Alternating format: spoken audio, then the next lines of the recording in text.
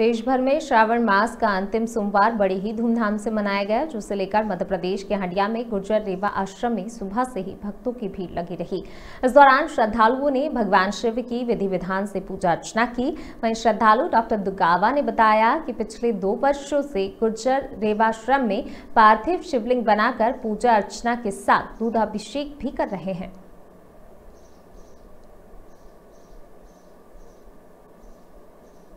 बागली संस्कृत पाठशाला, श्री वागयोग चेतना पीठम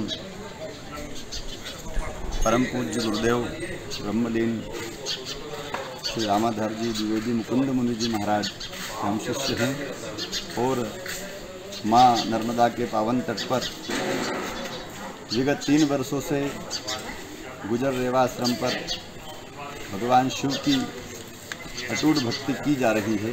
गुजर रेवा आश्रम समिति में कोषाध्यक्ष का दायित्व है। यहाँ पे 2020 से प्रतिवर्ष श्रावण मास में, पूरे मास श्रावण में यहीं पे निवास करता हूँ।